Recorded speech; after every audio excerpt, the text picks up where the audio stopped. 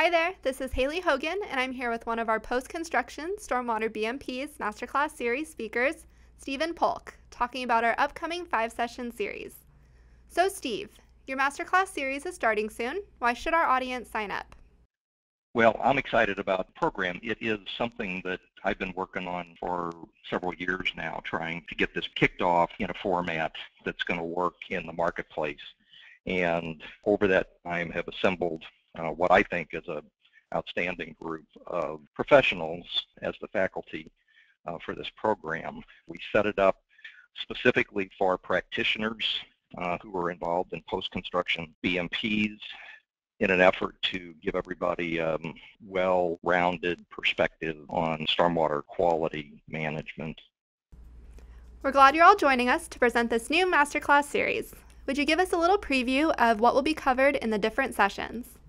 Uh, we'll really be covering from start to finish on, uh, on a project, uh, starting with the first session, which will give everybody some uh, background on what's happened in this particular uh, market segment of stormwater quality, how it started and how we got where we are today and where we think uh, it may be going in the future, and then go into a more detailed discussion on green infrastructure, one on design of stormwater BMPs, uh, one on the construction and the uh, soil science that goes into the BMPs, and then we end up with a program on inspection and maintenance of the facilities.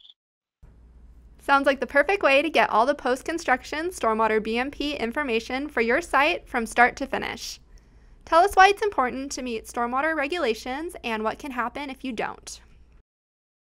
Well, I think it's important because it's required by the regulation. Federal, state, and local regulations uh, are now requiring that these facilities be constructed on land development and redevelopment uh, projects. So it is the law and you are required to do it.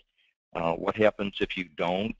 You're subject to fines from the EPA, from your state in which the project is located, and and potentially from the, the local agency where you're building. And those can be pretty hefty fines, which are assessed on a per violation per day type basis, and they're in the tens of thousands of dollars. So it's important to have the facilities and to keep them functioning properly.